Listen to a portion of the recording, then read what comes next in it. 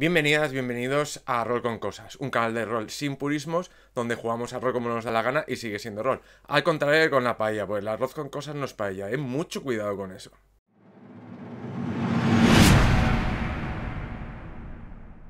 Yo soy Luis y en este vídeo voy a seguir jugando eh, en solitario un juego de rol de César Capacle que se llama Beneath the Darkness. Si habéis visto otros vídeos, pues ya sabéis que este estilo de jugar rol en solitario eh, combina un poco en una sola persona los papeles de máster y de jugador, ¿vale? Con una serie de tablas que, que trae el propio juego y algunas, algunas que voy a añadir yo con una aplicación de escritorio súper chula que se llama eh, Motor para Uno. A modo de resumen, eh, el juego nos sitúa en Ravenswatch, una ciudad eh, muy similar al Londres victoriano, eh, muy oscura, en plena, en plena ebullición industrial, y bajo la que se esconde una maraña de sectas, sociedades secretas, facciones políticas que están luchando por el poder. Y para ello usan como último escalafón y como soldados a los horrores, seres sobrenaturales que de alguna manera u otra eh, se ven obligados por estas sociedades secretas y estas, y estas sectas a hacer eh, su trabajo sucio. Mi personaje se llama Gastón Diop eh, y lo generamos en la anterior sesión y bueno, pues era un... Hace 100 años era un, un joven de 16 o 17 años, un ladronzuelo con cierto talento en las calles para los robos de guante blanco y robó en algún momento un, un, objeto, una especie de reliquia muy antigua que se llama la daga de los sueños. Y descubrió que haciendo uso de esa daga podía infiltrarse en la psique y en los sueños de otras personas, lo cual era perfecto para planear y llevar a, llevar a cabo eh, robos cada vez más grandes. Y Gastón se metió, se metió en, ese, en esa espiral sin saber que cada vez que usaba la daga iba cediendo un poco de su, de su esencia vital e iba convirtiéndose en un espectro hasta que eh, llegó, llegó a convertirse en un fantasma completamente dejando de ser una persona corpórea normal y quedó atado, digamos, eh, a la daga para siempre. Y 100 años después, una secta, la secta de los corazones altos, de algún modo ha descubierto cómo ejecutar los rituales eh, relacionados con esa daga para eh, de vez en cuando sacarlo de allí, convertirlo en un espectro y hacerle, hacerle hacer su trabajo sucio. La misión en concreto que estamos jugando y que generamos en la anterior sesión está relacionada con eh, la compra de unas tierras, de unos, de unos páramos en los que hay unos túmulos. Eh, de, bueno, eh, los propietarios pues una, una familia acaudalada de Ravenswatch y se van a comprar en principio por otra secta de la que no conocemos nada y la secta de los corazones altos pues manda a Diop a intentar averiguar todo lo máximo posible sobre esa compra de, y ese intercambio de escrituras, esa transacción, para intentar evitarla eh, o, retrasarla lo máximo posible, porque en esos túmulos que hay, en ese páramo, se encuentran unas ruinas antiguas en las que yace un espíritu milenario del que no sabemos nada.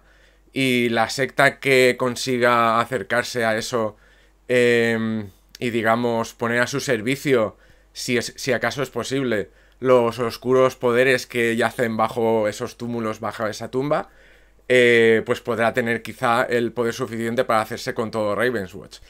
Eh, la sesión, la primera escena que jugamos estaba relacionada con una con la heredera eh, de esta familia caudalada que se llama Georgette, que a pesar de venir de una familia bastante con bastante dinero, pues tienen preocupaciones políticas sobre el proletariado y sobre las condiciones de vida de la gente de la gente común de Ravenswatch que son bastante bastante pobres y bastante malas. Y al principio de la sesión la vimos dar una la vimos pues eh, dando una especie de meeting una reunión clandestina.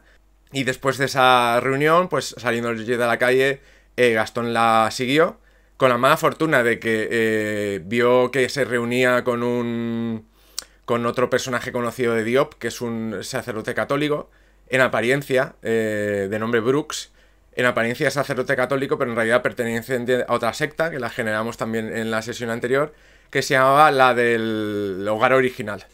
¿Vale? Eh, no tenemos todavía muy. Tenemos un poco bocetado, pero eh, creo que esa secta, pues. piensa que el hogar original de toda la humanidad es el infierno. Y por eso se han convertido del lado católico a una secta ocultista diabólica. Eh, y bueno, y parece que también están eh, bajo la fachada de eh, preocupaciones sociales que puede tener la iglesia de base y de, y de mm, compartir un poco intereses y activismo con Georgette, pues está reuniéndose con ella, pero probablemente para lo mismo que intenta Diop, para meterse un poco, meter la cabeza en esa transacción tan importante.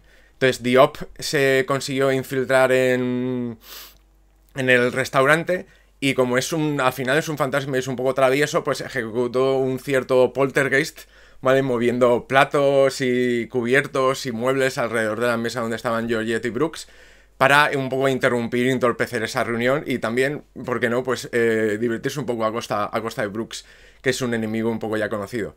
Entonces, eh, Georgette, asustada, eh, interrumpió la reunión y salió del restaurante. Brooks quedó un poco perplejo por lo que había pasado pero eh, había un problema, ¿vale? Gastón eh, lleva todo. Claro, es una persona incorpórea, pero sí que lleva un objeto corpóreo encima que eh, le ayuda a demostrar su identidad o contactar con otros, con otros miembros de la secta. Y es simplemente una, carta de corazones de una baraja francesa, de una, de una baraja o unas ilustraciones especiales que reconocen la gente de, los, de la secta de los corazones altos, que de ahí un poco el usar, el, usar esos, esos naipes. Y se la dejó ahí olvidada y la encontró Brooks. En principio, eh, preguntando al oráculo, pues eh, Brooks no había reconocido directamente que eso era la secta de los corazones altos. Quizá todavía no la, no la conoce, pero ahí tendremos una complicación más adelante. Y haciendo eso, creo que eh, vamos a meternos ya a jugar y ver cómo continúa esta historia. Vale, pues ya estamos con motor para uno. Eh, que son, bueno, probé un montón de oráculos que vamos a usar y además pues dados para tirar en, las tiradas que necesita el juego de César, Capacle. Eh, voy a repasar las notas que puse en la anterior sesión para ver si me he dejado algo, porque la misión era, como hemos hablado, conquistar un espíritu antes de que el enemigo capture las estepas, lo cual provocaría una guerra por el poder por en Ravenswatch. En la escena 1 eh, había una semilla que era los rumores de una revolución y además en acción y tema que tiraremos aquí nos salía Lagar Libertad. O sea que de ahí sacamos la idea de Georgette, que es eh, una activista libertaria, eh, pero es eh, heredera del, de esta COP de la familia. Generamos a Brooks, que es el antiguo sacerdote católico de la secta del hogar original. Y la complicación que acabamos de comentar de lo del naipe que había quedado ahí, ¿vale? Y entonces yo me imagino entre las oscuras y frías calles empedradas de Ravenswatch de un, eh, de un restaurante con mucha luz, una fachada modernista preciosa, que es el restaurante francés en el que Georgette y Brooks están mencionando. Pues Georgette sale a pie, eh, tampoco, tampoco en pánico, pero desde luego agitada, seria y caminando rápido, porque después de ese susto, de, esa especie de poltergeist eh, que Gastón de a modo de travesura ha, ejecutado, pues desde luego está agitada y ya no tiene mucho contacto con lo sobrenatural. Yo me la imagino a ella, no la definimos muy bien en, la anterior sesión, me la imagino pues de ojos claros, eh, el pelo recogido en un moño oscuro y con ropas pues eh, que no son desde luego de, de obrera, eh, pero tampoco son fastuosas, sino una cosa práctica, sobria, y nada, la veo salir, eh, caminar por las calles de Ravenswatch. Y allá quizá en un callejón un poco cerca de ella, siguiéndola, hay un chico de unos 16 o 17 años en apariencia, con una chaqueta y un pantalón y una gorra bastante sencillos, ajados, de un estilo un poco antiguo, del que a lo mejor eh, pasado de moda, del que podría llevar pues eh, una persona mayor de 70 o 80 años en esta época. Eh, de piel oscura, eh, digamos de, un origen indio, árabe, indeterminado. Y, digo indeterminado porque si nos fijáramos en esta figura, que por supuesto es Gastón, eh, veríamos cómo a lo mejor puede ser cosa de la niebla o de la poca luz o de nuestra propia imaginación, pero parece que su imagen parpadea o por algunos momentos se hace más transparente. Eh, y esto sabemos nosotros que es porque Gastón no es una persona real, corpórea, aunque puede hacérselo. Puede ser corpóreo durante unos. durante. durante un cierto tiempo. Pero en realidad es un espectro que vaga sin descanso. ejecutando las acciones, de, ejecutando las órdenes de las personas que lo sacan de esa prisión de, de esa daga de los sueños. Y vamos a ver eh, a Gastón siguiendo a Georgette y, vamos a un poco poner, intentar descubrir qué va a pasar en esta escena. Entonces, para la... Para la escena 2... Primero vamos a tirar... Em, creo que eran dos dados de 6.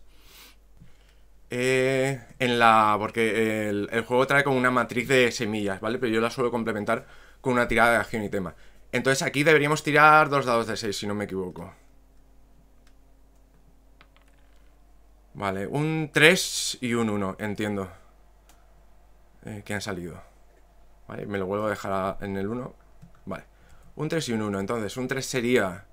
Eh, aquí. El retorno profético de Tozumag. Vale, no tengo absolutamente ni idea de qué puede. De qué puede ser eso o quién puede ser Tozumag. Pero lo vamos a poner como semilla y en algún momento usaremos ese. Intentaremos usar ese elemento para la escena. ¿Vale? El retorno profético de Tozumag. Y ahora vamos a sacar acción y tema, que es un poco lo que me despierta a mí más la. La. La creatividad.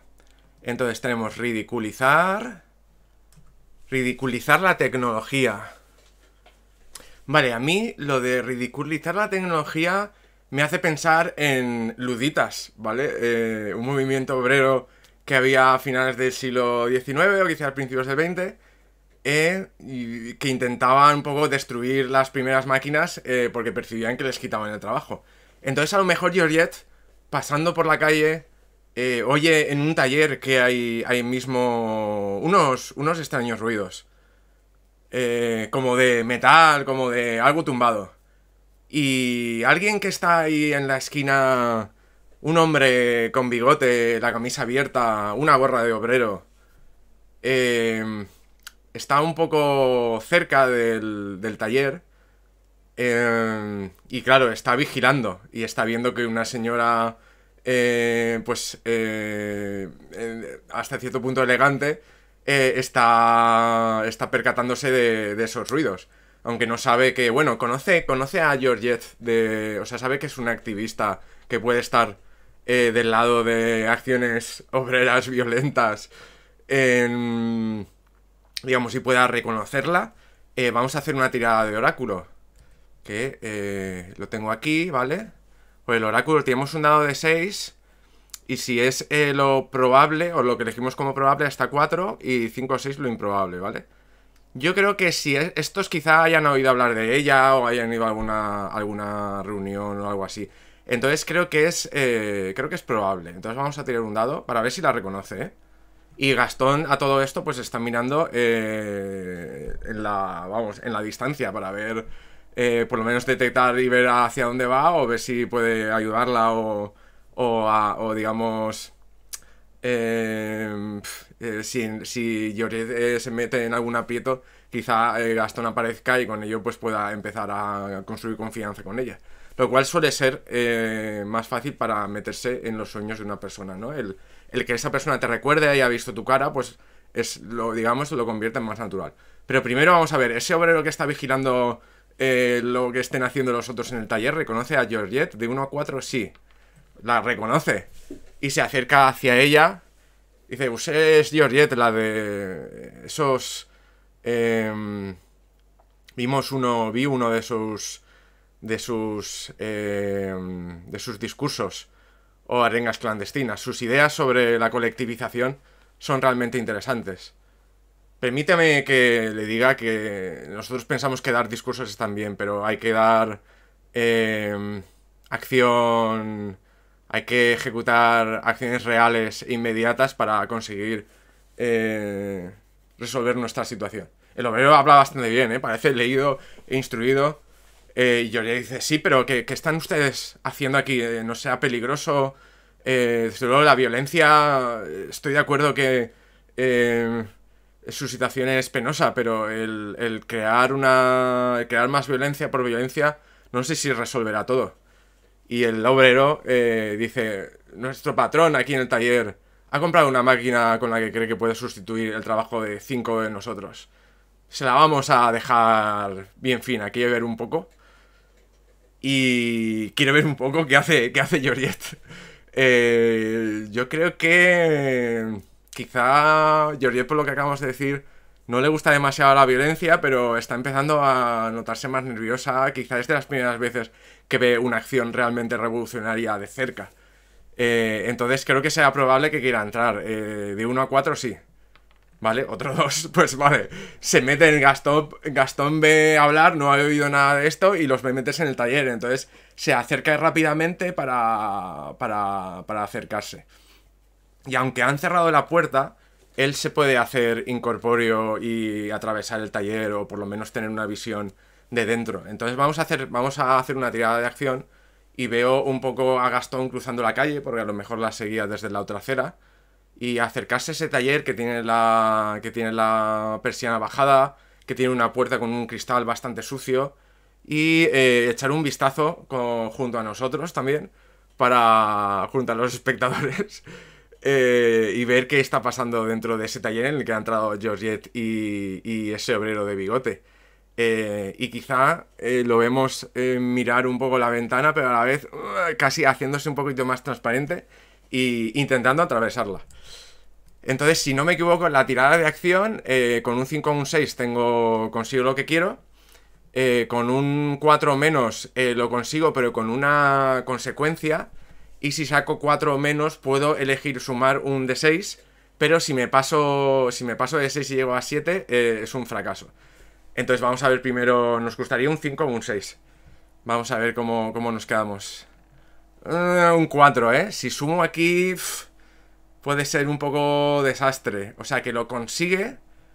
Yo creo que eh, Gastón lo consigue, pero eh, empuja un poco la puerta, ¿no? Y entonces la puerta hace un ruido.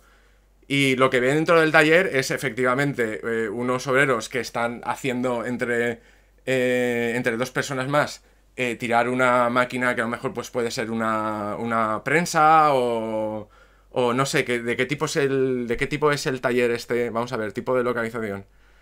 Una chimenea de lava, vale, es una especie de forja y a lo mejor pues la máquina es una especie de prensa automática o de fresadora que eh, evitaría que un obrero tenga que estar, un artesano tenga que estar ahí haciendo, digamos, recortando la rebaba de piezas, o es la excusa que el dueño de, esta especie de, taller metálico o de, chapa, de, cortar chapas o de, o fresado, está, está poniendo para, despedir eh, empleados. Y estos, eh, los obreros la están con una cuerda, a lo mejor es bastante grande, la están intentando tirar hacia abajo porque pesa un quintal y, intentar destrozarla, pero les está costando bastante porque pesa un montón.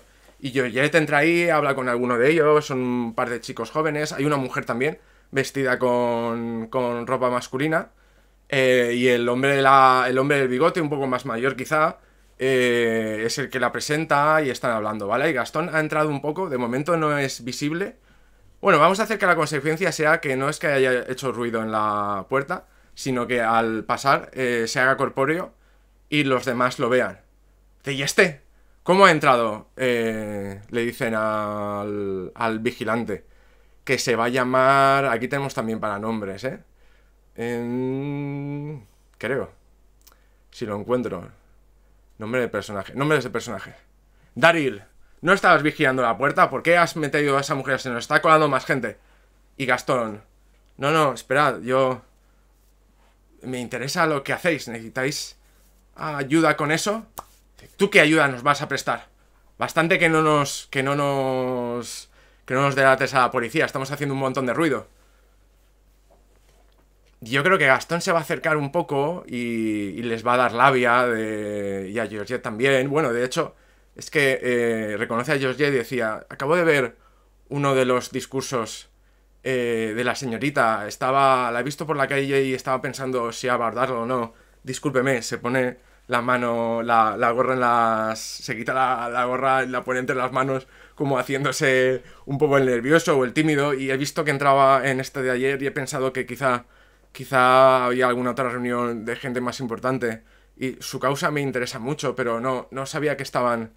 Y ella misma dice, no, no, eh, yo tampoco sabía que, eh, solo soy una especie de observadora. Es la primera vez que contemplo una acción revolucionaria como esta, pero pero si os podemos ayudar en algo. Y Gastón, sí, sí, por favor, ¿les puedo ayudar en alguna cosa? Y quizá entre todos van a intentar eh, tumbar esa máquina y ayudar a, ayudar a eso. Eh, claro, Gastón es incorpóreo. Eh, ahora está visible, pero a lo mejor hemos dicho que antes ha podido hacer una especie de poltergeist o algo así. Entonces han movido platos, cosas sencillas. A lo mejor puede hacer como que empuja, pero ayudar con sus poderes fantasmales y usar la fuerza de una, dos, tres personas, a lo mejor eh, Gastón es capaz de hacer eso y ayudarlos a buscar, a buscar esa fresadora, esa máquina, dejándola inutilizada y así ganarse un poco la, la confianza de los demás. Eh, primero voy a ver eh, si consigue un poco hacerse la... Hacerse... O sea, dejar que los demás le ayuden, en realidad. Porque cómo reaccionan los demás. Eh, Hombre, yo creo que están en bastantes aprietos y tienen prisa. O sea que es probable en una, tirada de oráculo que acepten la ayuda de Georgette y de Gastón si no son directamente, no sé, policías encubiertos o algo así. Entonces voy a tirar un dado, por lo menos. Vale, un 2 y parece que como los otros están sudando y están viendo que lo que pensaban que era una tarea sencilla les va a costar bastante, aceptan la ayuda de quien sea. Entonces la propia Georgette y el y el propio y el propio Gastón se ponen y ah, empujan la intentan empujar y Gastón eh, va a usar un poco de esa fuerza demoníaca fantasmal eh, de la que le provee el ser un espectro ahora y estar atado a la daga de los sueños para, para intentar empujar, pegar como un, un reventón de aire eh, que no se note demasiado. Vale, como está todo el mundo empujando, espero que, que no sea demasiado, demasiado obvio y, ayudarles a, empujar eso. ¿Vale? Entonces vamos a hacer otra tirada de acción y lo mismo, un 5 o un 6 tenemos un strong hit y de 4 a menos un weak hit con una, con una consecuencia. Eh, vamos allá. Un 6, ¿vale? Completamente la mejor tirada, ¿vale? Ahí cuando están todos en el momento de empujar y tal, Gastón, eh, en el momento en el que están todos eh, quizás cerrando los ojos, saca un poco de esa fuerza interior, ¡pum! Y de repente la como si fuera de golpe, eh, saca un montón de fuerza y ¡pum! la fresadora se vuelca rompiéndose parte de los instrumentos o de, de, las, de las palancas o del instrumental que hay arriba y, queda eh, completamente destrozada y los demás miran de... Bueno, entre todos los hemos conseguido, chavalín. Eh, pensábamos que, bueno, a veces es cuchimizado, pero, pero desde luego que empuja. Si Gastón se pone otra vez la gorra. sí, señor. Y eh, se me está ocurriendo que han hecho bastante ruido. Entonces, alguno de los guardias o alguno de los policías se está acercando a, este taller, a esta pequeña acción insurreccional. Eh, creo que es probable. Entonces voy a tirar eh, el oráculo y será lo más probable si han hecho ruido es que aparezcan por ahí. Entonces de 1 a 4 tendremos quizá algunos ruidos de policía o algo de esto. ¿Vale? Efectivamente, de hecho, es tan bajo que hay alguien que está dando golpes a la, a la puerta y está diciendo, policía, ¿qué está pasando ahí? ¿Está todo el mundo bien? ¿Qué ocurre? Y todos los demás se ponen, tenemos que buscar algún tipo de... Algún tipo de salida, seguro que hay alguna tienda, venga, vámonos, vámonos. Y Daryl coge, eh, digamos, eh, organiza a sus a la chica y el chico que estaban en principio volcando la, volcando la prensa o la fresadora y se ponen a buscar una salida y Georgette, y dejan a Georgette un poco, ¿vale? Al su aire de escapen como puedan. Y, y Georgette eh, queda al lado de Gastón y Gastón dice, sígame, eh, podremos salir seguramente por alguno de estos callejones. Y, y nada, buscan una salida, creo que esto no voy a, no sé, coger ni, ni, ni tirada. No sé, sí que voy a hacer una tirada de acción para ver si al salir se encuentran de frente con algún policía o alguien que estuviese dando la vuelta al taller por algún callejón, alguien de las fuerzas del orden. Eh, no sé, no sé si es probable o no. Mm, a ver si uso alguna otra cosa de aquí. Probablemente sí, probablemente no. Evento. No, voy a tirar el, el, oráculo. Y bueno, y es probable que lo haya. Es probable que lo haya. Así que de 1 a 4, eh, a lo mejor saliendo por la trastienda eh, los demás parecen haber salido por, por, el, por un almacén. Eh, pero Gastón ve una ventana eh, que es bastante practicable. Coge una caja, la pone al lado y dice, por aquí. Seguro que eh, los demás harán más ruido. Eh, temo hablar así, pero me sabe mal, pero si hacemos menos ruido y atraemos la atención de la policía lo menos posible, será mejor para nosotros. Entonces, esto quizá de algún pequeño callejón. Y yo ya, sí, por aquí, espero que los demás estén bien. Y se van a encontrar con policía, creemos que es probable, de 1 a 4. Vamos a intentar 4. Y ahí se encuentra en policía ahí. Tiro, sumo. ¿Sumo o qué? Si no, es una. Si no, se lo encuentran de boca, ¿vale? Eh, voy a sumar a ver si me sale un 1 o un 2, ¿vale? Pero, pero vamos a ver, en esta me la voy a jugar bastante, ¿eh? Un 2 y un 6.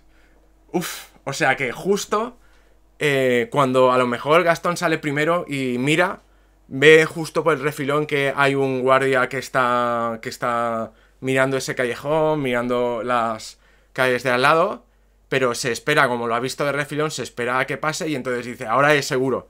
Y Georgette y Gastón salen del callejón de hacer esta pequeña eh, acción revolucionaria sin que les encuentre nadie de la policía. Vale, y se me ocurre eh, que Gastón, de nuevo con la gorra en la mano, Va a decir, señorita Georgette, eh, ¿me permite si la acompaño hasta casa? Esto es peligroso y yo conozco las calles quizá un poco mejor que usted. Eh, no me quedaría tranquilo si después de esto eh, la policía le detiene o le sufre algún percance más. Y Georgette dice, bueno, chico, gracias. La verdad es que he metido en problemas sin pensar demasiado y la situación podría haber sido un poco desastrosa, para mí menos que para Daryl y su pequeña célula revolucionaria. Pero, pero sí. Y, me imagino a Georgette recogiendo algunos libros que se le han caído porque ha tenido que trepar o a lo mejor le ha dado la pequeña bolsa a, a Gastón. Mira, eso es mejor. Eh, y Gastón ha echado, claro, un ojo, un ojo para adentro, la puede sostener porque ahora es un poco corpóreo. Y eh, además de libros, los panfletos que estaba repartiendo en la reunión clandestina, eh, lleva un libro eh, una especie de poesía o de relato fantástico que se llama, que se titula El retorno, el retorno profético de Tozumaco, ¿vale? Y no puede evitar, no puede evitar en el camino, en el camino de vuelta, preguntarle por ese libro extraño y yo le dice, sí, es un, es una colección de relatos bastante fantásticos, muy poéticos, eh, del estilo de a lo mejor Marcel Schwab o Arthur Machen. Eh, no sé si esos autores existen en este mundo, pero son históricos, entonces, digamos, para nosotros eh, tienen que ver. Y bueno, y viendo Gastón, viendo que es algo fantástico y que ya tiene un poco la semilla para poder meterse en los sueños de ellos, que es en lo que está pensando ahora, le pregunta, ¿y cómo es? ¿Quién es este Tozumak? ¿De qué va este relato? Y Georgette le relata que, eh, bueno, es una especie de rey de la antigüedad en un, eh, en un mundo fantástico, eh, que fue exiliado y ahora esa tierra, por ejemplo, la gente de esa tierra está maldita por el, exilio al que se visto, al que se vio, al que se vio obligado a, a ir Tozumak, porque a lo mejor hubo un usurpador, ¿vale? El típico Hamlet. Eh, y desde entonces la tierra está maldita porque Tozumak no ha vuelto y la gente a lo mejor no puede dormir. Y Tozumak es como una especie de eh, rey que trae tranquilidad o sueños o buenos sueños a la gente y cuando vuelva la gente podrá volver a dormir. Y le pregunta un poco a Gastón sobre la apariencia porque ya está planeando el aparecer con su cara que conocerá, que será familiar para, para Georgette y será normal eh, soñar con una persona que acaba de conocer pero también aparecer disfrazado o vestido de este, de este relato, de este personaje de ficción que también está leyendo Giorgio. Es una cosa que pasa mucho en los sueños y a lo mejor puede ser la digamos la forma eh, la forma perfecta de, entrar ahí entonces me los imagino eh, charlando eh, recorriendo las, las calles digamos Gastón recomendando unos caminos unas calles u otras que pueden ser un poco más discretas hasta que la deja en la puerta de la mansión. Se queda en la verja, se despide eh, muy educadamente, eh, un poco interpretando ese, ese joven un poco admirador, eh, admirador del discurso político, claro, no estamos metiendo en nada romántico. Admirador y un poco avergonzado, humilde, pero muy capaz. Y cuando ella se va y se pone de espaldas, Gastón pone una, sonrisa un poco más traviesa. Y yo creo que George se irá a dormir. Eh, Gastón desde, la, desde fuera observará un poco qué ventana se enciende y luego se vuelve a apagar, porque probablemente será la del dormitorio de Georgette. Y entonces, desde ahí mismo, como tiene un poco esa conexión, ese vínculo, empezará a volverse todavía más incorpóreo y a irse metiendo en, en, ese territorio onírico eh, de fantasía, de sueño, en el que poco a poco Georgette, eh, que está durmiendo en su habitación, dejando en la mesía de noche ese libro, El retorno profético de Tozuma, que a lo mejor ha estado repasando o continuando después de hablar con Gastón un poco para, para calmarse después de todas las emociones vividas.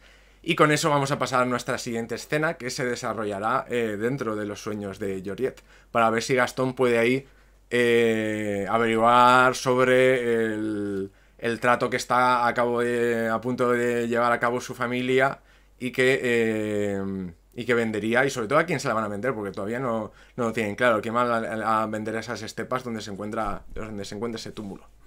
Vale, pues he apuntado un poquito cositas aquí, ¿vale? Eh, que nos habían salido para, la escena anterior, ridiculizar la tecnología. Un nuevo personaje que es Daryl, este, este digamos, eh, revolucionario un poco más experimentado, que era el que estaba vigilando eh, mientras intentaban hacer ese sabotaje. Eh, la eh, saboteadora voy a poner aquí. Bueno, sabotaje. Para acordarme después. Eh, y ahora me imagino, em, pues me imagino que nos metemos de repente en un mundo fantástico eh, dentro de los sueños de Georgette, eh, un poco influenciados por estos sucesos tan emocionantes, por conocer a Gastón, por haber estado leyendo ese, ese relato fantástico que me, me recuerda un poco a Lord Dunsany, a lo mejor, o a Arthur Machen, de, de esa especie de relato fantástico romántico eh, sobre el... A ver que no me acordaba, sobre el retorno de Tozumag. Eh, y Gastón que intenta un poco eh, disfrazarse en lo onírico como, ese, como ese rey de la antigüedad. ¿Cómo es? ¿Cómo...? Mm, para idear un poco qué tipo de ropas... A ver, descriptor general, descriptor del personaje, tozudo, no. Descriptor general, pero claro, es magnífico y y gordo, ¿vale? Es como eh, muy grueso, es como una versión mucho más oronda de, de Gastón, ¿vale? Pero va con eh, ricos ropajes, eh, todo al estilo clásico, a lo mejor un poco romano, con brazaletes de oro, con una torque aquí en el cuello, una especie de, de coronita, pero sí que es una versión más fondona de del, propio Gastón y el propio Gastón eh, en lo onírico se reconoce un poco como mira, pero bueno. Eh, y vamos a tirar también para ver, porque Gastón puede un poco, no puede controlar los sueños de otra persona, puede influenciarlos un poco, puede hacer como esa especie de Inception. Creo que Gastón ya está pensando, porque como en esta historia el rey estaba exiliado, a lo mejor va a intentar un mezclar un poco sueño con realidad y preguntarle a Georgette y decirle que su familia es la que tiene ahora los títulos de sus antiguas tierras y se los va a vender a otra persona, ¿vale? Otro, a otra facción, pero se los tiene que vender a él porque si no la gente de, del reino de Tozumag no, no puede dormir, creo que irá un poco por ahí, ¿vale? Pero eh, lo demás no puede controlar, él es un mero participante dentro de los sueños de Joliet. Así que eh, vamos a tirar otra semilla de estas, que las teníamos aquí para esta nueva, ¿vale? Entonces tiro dos dados de 6. Primero. Un 2 y un 1. Un 2 y un 1. ¿Vale? Una gala en la mansión eh, de Ivory Fist, del puño de Marfil. ¿Vale? A lo mejor justo es eso, es una especie de... de fiesta romana. A ver, uy. Espérate que lo copie bien, ¿eh? Que no lo he copiado. Vale. Es un gran banquete dentro de estos sueños eh, y vemos a Georgette también un poco disfrazada de, ese estilo entre clásico de la edad de bronce que llevan casi todos los casi todos los asistentes. eh, está en una especie de mansión, un gran salón de mármol, con, con hogueras encendidas de forma regular, eh, un teatro que donde los músicos y, y algunos actores con, con máscaras doradas, de estas de, de, de teatro helénico que están algunas sonrientes, otras llorando, están representando algún tipo de drama. Eh, y la gente pues eh, habla entre ellas o, mira un poco, algunos hacen caso a la representación, otros hablan entre ellos cogiendo comida eh, y está por ahí. ¿Y qué, más, ¿Y qué más está pasando en el sueño? ¿Vale? Vamos a hacer una acción y un tema. Desatender. Desatender el amor. Desatender el amor. Y ahí hay una persona eh, también en el sueño eh, a la que le gusta. A la que Georgette también le gusta. Pero estamos un poco en el inconsciente de Georgette. A lo mejor Georgette no sabe ni siquiera. Eh, voy a poner aquí. Desatender. Amor. Eh, no sabe, no es completamente consciente de que le gusta a esa persona, pero hay otra persona ahí. Y en el sueño ya sabe que quiere estar cerca y que, y que le gusta. Eh, entonces, ¿es, ¿es mujer o hombre? Voy a tirar eh, sí o no directamente, así de sin el oráculo, para como no sé lo que es más probable en realidad. Bueno, primero va a ver si es mujer o no. Vale, no, no es mujer. Eh, no es mujer y es, un, es muy hombre, muy, muy viril, es una figura muy masculina. Y a ver si tiramos PNJ secundario. ¿Vale? Bueno, no se llama Daisy, es un personaje viejo. Vale, es un hombre mayor.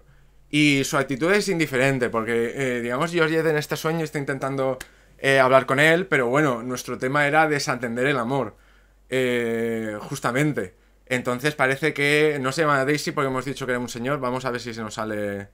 Si nos sale un nombre personaje, no, Hellshade, no se llama. Eh, Ellis, ¿vale? Eh, Ellis, bueno, quizá tenga la cara de Ellis, pero en el sueño se llame Sombra del Infierno. Quizá, porque estamos en un mundo fantástico. Y quizá incluso es una de las familias del. Es la familia que ha usurpado en esta ficción, ¿no? El reino de. El reino de Tozumag. Y, eh, digamos, Georgette, por lo menos en este sueño, está muy interesada en él, pero este eh, señor mayor eh, está completamente indiferente y mira la hora sin hacer caso y Georgette parece un poco desconsolada. Eh, vamos a poner aquí otro personaje, que es Ellis. Y ya veremos quién, es Ellis, que a lo mejor es alguien de su familia, es un mentor, ya veremos, pero es alguien que incluso inconscientemente eh, a, a le gusta. Eh, en el sueño es Hellshade, la sombra del infierno, ¿no? La sombra, bueno, o el reflejo del infierno. Es como llaman, a lo mejor es un personaje del... Es el usurpador personaje en esta ficción y Georgette ahora lo está mezclando todo. Entonces, eh, la forma oronda de... De... De Gastón, eh, que ahora está un poco disfrazado de Tozumag, eh, pues va a vigilar un poco así de de, de refilón también de nuevo a Georgette intentando hacer que Ellis, claro, como en los sueños a lo mejor Ellis está mirando y Georgette va alrededor, pero Ellis siempre le da la espalda, ¿no? Entonces en ese momento eh, Gastón entra y dice, señora, por favor, ¿sabéis quién soy? Soy el rey Tozumag, el verdadero y legítimo eh, rey de estas tierras. Por favor, dejad de hacer caso a ese usurpador. Seáis tan amable de escuchar mi historia, mi lamento, lo que sufre mi gente, y ayudarme en esta búsqueda, pues vos sois la heredera de la familia que todavía tiene los títulos de las tierras y quizá podáis ayudarme a recuperar mi reino. Y Georgette no sé cómo reacciona un poco a este. Yo creo que es probable, si es un poco fan de los libros de Tozumag. Eh, de 1 a 4. Bueno, voy a tirar una de acción, de hecho, para ver si en, esta, en este convencimiento onírico eh, Gastón logra que ella le ayude y de ahí sacando, ir sacando información, porque la información que puede aportar ella sí que es la real, sí que es la del, la del mundo de verdad. A lo mejor estará un poco mezclada, pero ella a lo mejor pues desembucha cosas que podamos saber de, de esto, ¿vale? Eh, entonces, una de acción... Eh, Queremos un 5 o 6, con 1 o 4 eh, tiene una consecuencia. Tiene una consecuencia, vale. Pues eh, tenemos un dado. Un 5, ¿vale? Nos sale bastante bien, entonces me imagino cogiendo de la mano a Gastón. Eh, o sea, a, bueno, eh, coge de la mano al propio Gastón. Cuidado, Rey Tozumak, seguidme. Eh, sé del dolor de vuestra gente, os podría ayudar. Seguidme, por favor, vámonos de, este, de esta especie de baile o de, o de gala en la, en la mansión. Y salen a ese mundo fantástico que no sé, tiene a lo mejor el color, el cielo de otro color, está a las puertas de un gran lago cristalino, es todo de noche, hay dos lunas, una amarilla y otra roja.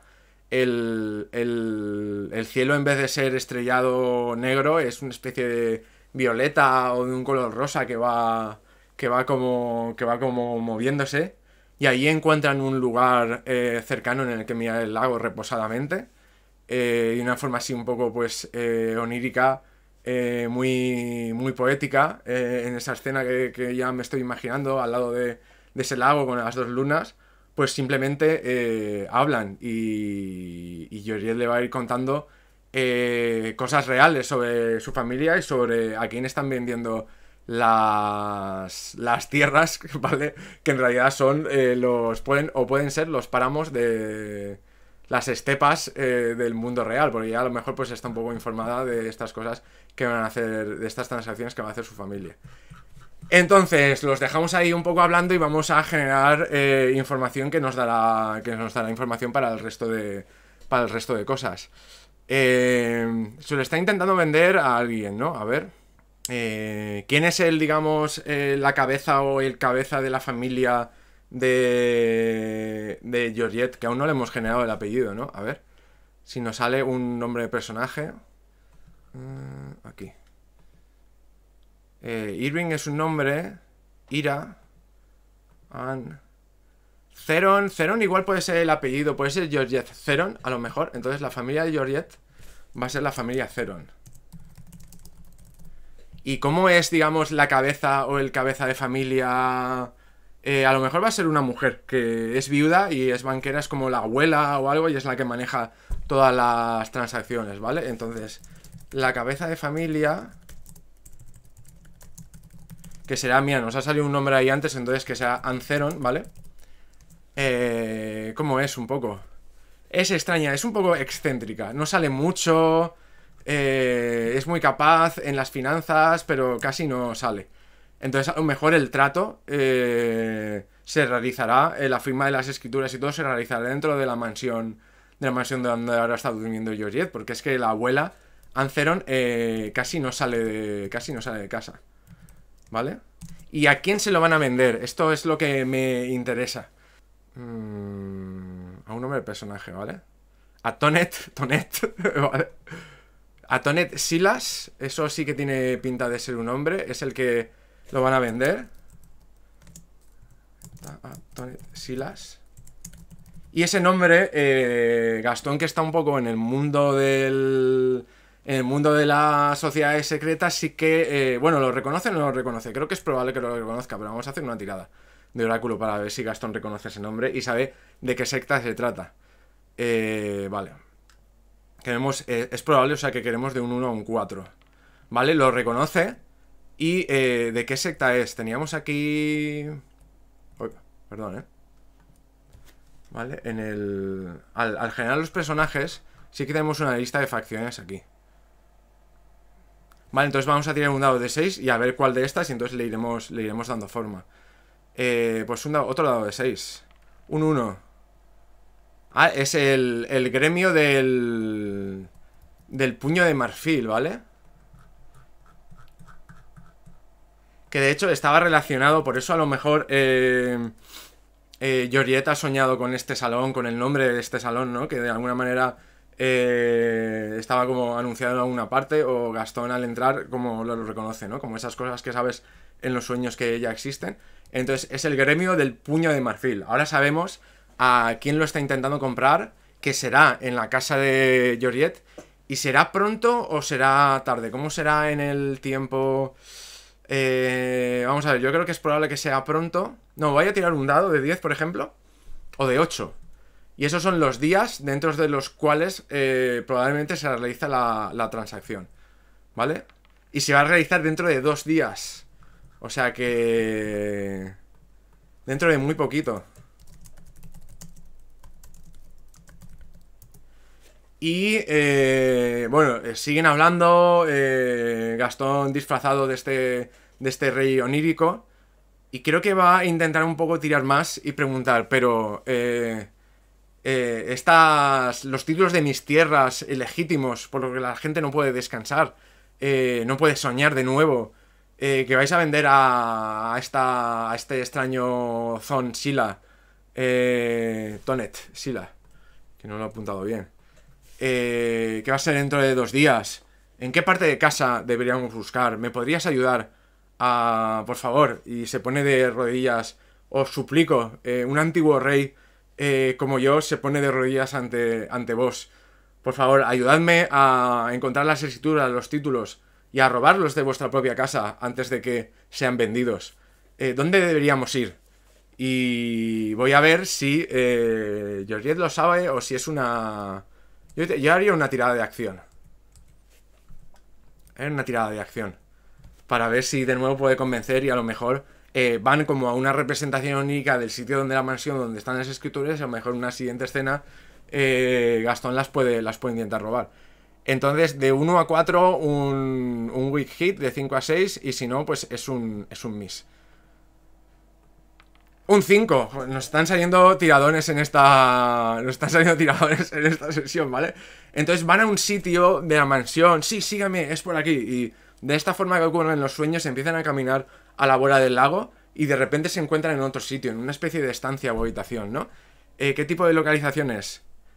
Ah, es el jardín de la mansión. O sea que quizás los. los.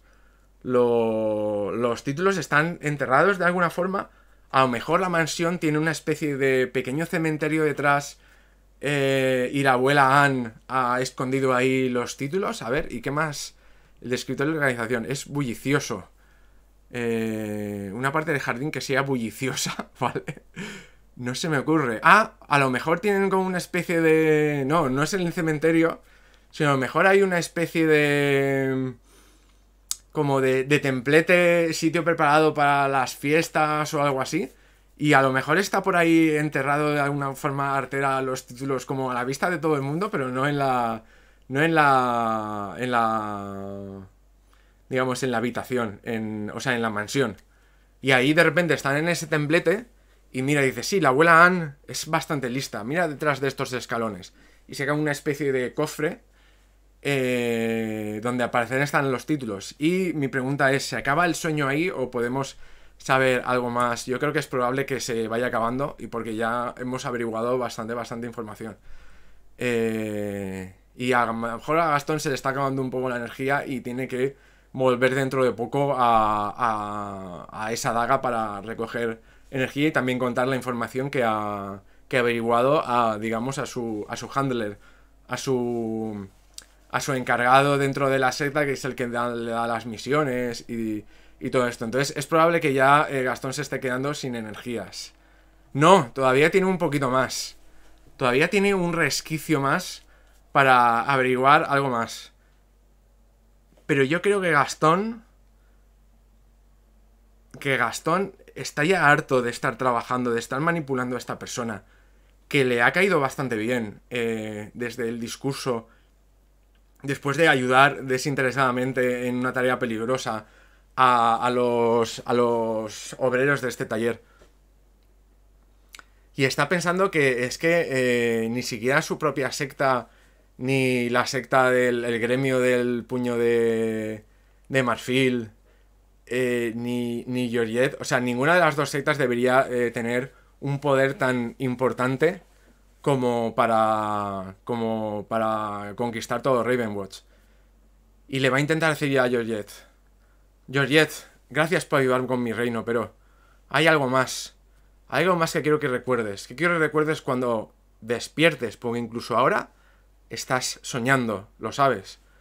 Quiero que si me vuelves a ver o vuelves algo a alguien parecido a, a, mí, por favor, le ayudes en lo que te diga, solo solo si es para acabar con el poder de, de para evitar que, que, las tierras que va a vender tu familia.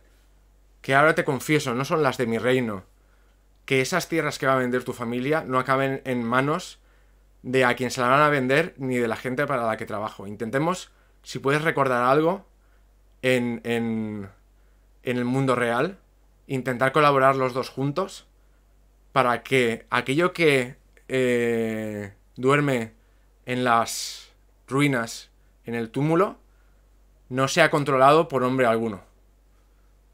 Y acaba así un poco el, el sueño, se empieza a desdibujar. Mientras se desdibuja, a lo mejor eh, deja de, como ocurre en los sueños siempre, ya no tiene la, la, el aspecto de, de Tozumag, de este rey un poco orondo, eh, pero bondadoso. Y está de nuevo con, eh, con, la, con el aspecto con el que le ha visto esta noche eh, Georgette, porque la idea es que recuerde eh, todas estas palabras.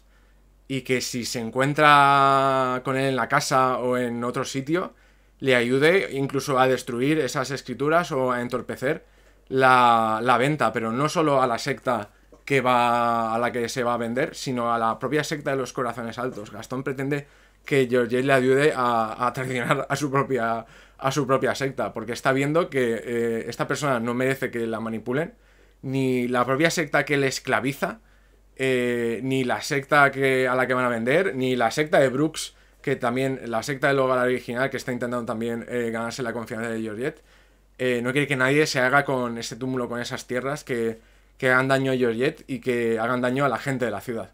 Y ahí creo que vamos a dejar nuestro sueño, nuestra sesión.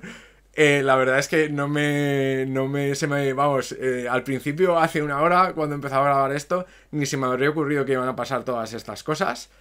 Eh, y veremos en siguientes capítulos si Gastón quizá intenta entrar, robar esas escrituras para entorpecer la transacción, pero no se las entregas a la secta de los corazones altos. Si la secta de los corazones altos se va a dar de cuenta de esto, si va a encontrarse otra vez a Georgette y Georgette va a ser capaz de recordar algo de esto, de este sueño, no lo sabemos, ¿eh? lo, lo descubriremos en siguientes, en siguientes sesiones. Eh, y, y, nada más, más o menos hasta aquí. Solo decir que muchas gracias por, por ver esta, este nuevo episodio, What, What Lies Beneath the Darkness. Mandar muchos recuerdos a César Capacle, eh, que es el creador de este juego que también ha tenido la amabilidad de verse, de verse la sesión anterior. Espero que, como a mí, le haya sorprendido las cosas que hayan pasado. También a la gente de Roll para Uno, que ha creado este, este software que usamos para oráculos, que la verdad es una maravilla y facilita un montón las cosas y desbloquea un montón la creatividad. Y nada, a todas vosotras y vosotros que habéis estado viendo este vídeo, si tenéis alguna idea de lo que puede llegar a pasar o, o, algo de que os haya gustado en esta sesión, por favor ponedlo en los comentarios y nos vemos en siguientes episodios. Hasta luego.